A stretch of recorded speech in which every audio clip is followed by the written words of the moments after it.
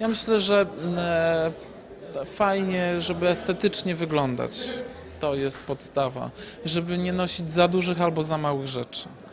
E, Żeby ubierać się w zgodzie ze sobą, żeby nosić kolor, a nie tylko szaro-buro-czarne ubrania, które na ulicy, nie wiem, nie zawsze sprawdzają się tak fajnie jak zimą. Mamy cztery pory roku, wykorzystajmy to, że jest e, nie zawsze może piękne słońce, ale że mamy lato i mamy ciepło. I to są chyba takie jedyne recepty na to, żeby wszyscy wyglądali lepiej.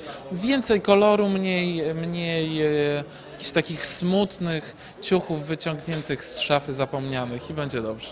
A takie rzeczy jak e, skarpety i sandały, białe No skarpety to, to czarne. w ogóle, no to no właśnie, nie, to porozmawiajmy o takich to- grzechach, po to już, grzechach. to już w ogóle, e, ja myślę, że e, to wszyscy wiedzą, że to jest grzech. To ja nie muszę o tym mówić, bo to się od paru lat mówi Ale ciągle widzimy to. Ale proszę mi też wierzyć, że ostatnio na wystawach Louis Vuitton widziałem e, skarpety z sandałem e, jako trend. Więc to jest tak, że coś, co u nas może być obciachem, em, nie wiem, moda może podnieść to do rangi czegoś bardzo trendy, tak?